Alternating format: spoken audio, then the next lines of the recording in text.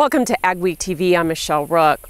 The COVID 19 pandemic has disrupted business as usual, including international travel, and that has halted export trade missions for the ag community.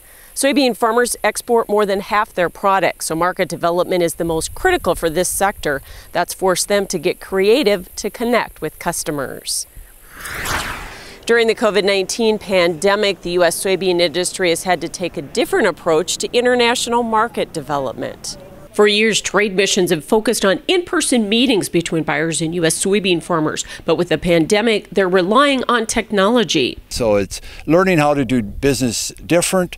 So having to do more virtual meetings uh, and Zoom meetings to meet with people. This allows their trade group, the U.S. Soybean Export Council, to build relationships, but they're anxious to return to hosting customers on farms and visiting international companies but it's not quite like being face to face with a customer and and particularly in Asia where the people like to have a relationship with the people that grow the crop those international people come to the US to visit farms and I've had the opportunity to to have them on my farm and to visit with many of them as they come to visit Asia is just one of the many areas they're targeting, especially since the China trade war. And we realize we need to have markets in every country that wants U.S. soybeans and that's critical for soybean farmers who export over half their crop.